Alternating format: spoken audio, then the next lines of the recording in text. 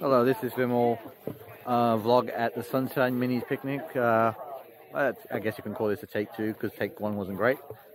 Um, everyone's queuing up for, you can see right behind me, uh, for picnic food. And on the other side, there's minis and around. See back in the distance, a bunch of minis. We've got cake here. Oh, we got the minis on.